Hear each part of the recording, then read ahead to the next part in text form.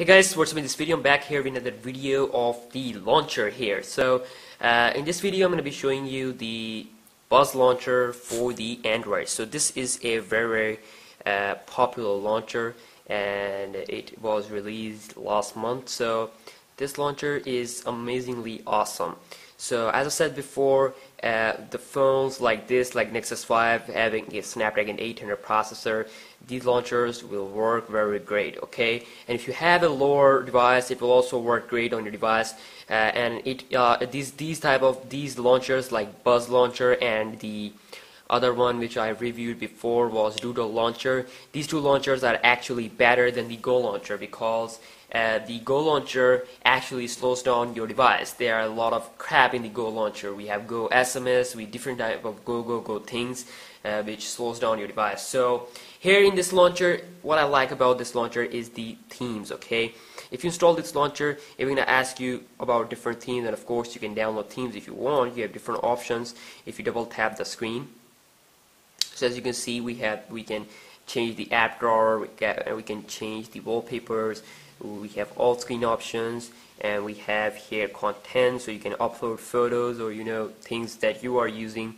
Uh, and also you can go to the home pack buzz you can go to buzz settings uh, and also you can also change the set as default launcher which is a very great option which most of the launchers don't have. If you have any problems in launcher you can just restart the launcher and this is the version so so to download this launcher just visit uh, the Play Store and search Buzz Launcher it's a free app and it's very amazing. So as you can see the app drawer, it's pretty cool. So I'm currently using this launcher and the Dodol launcher as my launchers for the Nexus 5. So they both are very awesome. They both have the options of recent apps, the apps you have used, so uh, which is very great and also in this in this launcher we uh, we will see infinite uh, scroll option. Just like we do the launcher we can adjust the transparency uh, transparency. If if you uh, want to uh, if you want to see the uh, wallpaper you can just click you can just adjust it to the maximum settings. And if you want it to the optimum settings you can just do it in the mid okay? Now you can see your wallpaper behind the apps and of course the apps uh, with this transparency. So okay so other than that this is very fast very clean. And also I have this download uh, download icon download picture here on my clock. So uh, the things that I haven't installed on my device will be showing as a download logo. So uh, for example if I visit this uh, okay for example if I open this software okay? No. Okay so like the, the, these software okay here. So they all are showing the download icon like this here. We have the Twitter. I don't have Twitter on my phone so it's showing me the download icon and if I click here it's gonna, uh, it's gonna sh uh, show me that this is Twitter and this app is not installed yet and if you want to install you can install it uh, uh, by visiting the Google Play Store. So and also Pandora and I don't have these apps but this app is showing me all those apps which I need okay? It's a pretty pretty awesome thing and in games folder it will show you Candy Saga, Temple Run 2, Angry Birds. And here we have weather.